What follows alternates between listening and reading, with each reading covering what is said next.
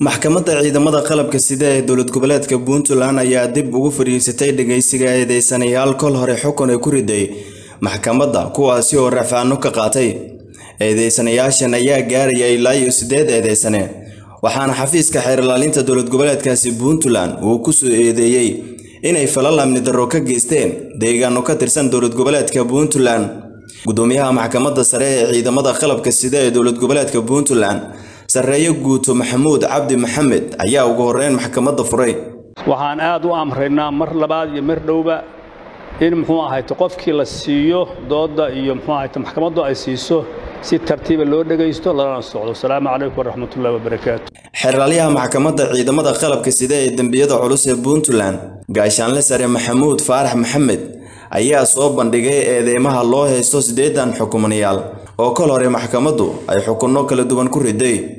sidaas daraaddeed waxaan maxkamadda sharafta leh ee ciidamada qalabka sida iyo dembiyada culus ka codsanayaa inay xukunka ku raacdo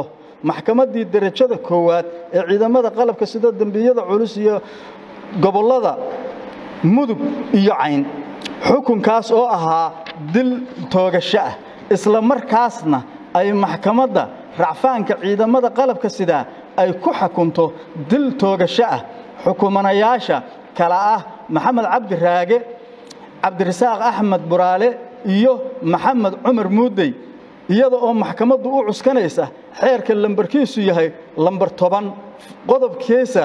labaad faqradda koowaad ee la dagaalanka argagixisada iyo qodobka iyo afar xeerka ciqaabta soomaaliyeed. Wabilaahi towfiiq gudoomiyaha maxkamadda sare ee ciidamada qalabka sida ee puntland maxamuud cabdi maxamed ayaa ugu dambeyn maxkamadda soo xiray waxaana uu sheegay in go'aan deg deg ay ka soo saari doonto maxkamadda. Yahay maxkamadda ciidamada qalabka soo racfaanka oo maantay tog u soo fadhiisatay halkaasuu inuu kugu xidhan yahay wixii muxuu ahayto la isugu soo noqonahayo iyo waxa ka dambeeyana maxkamadda go'aan ka soo gaari doonta waa aan iisoo gudbin doonaa maxkamaddana waa xidhan tahay. Wasalaamu calaykum waraxmatullaahi wabarakaatu cumar guxurbaynta city